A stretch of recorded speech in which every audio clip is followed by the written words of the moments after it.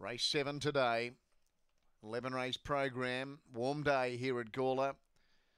And we're set for race seven now. There's the green light. Velocity Flame off box one. Set. She's the warm favourite.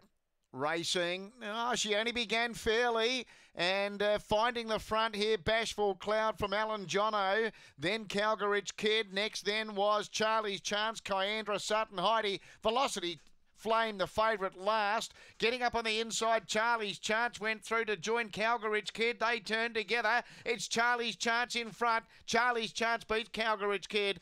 Third, Bashful Cloud. Then Alan Jono, Sutton Heidi. Kyandra and the favourite Velocity Flame blotted its copybook today from box one, last in.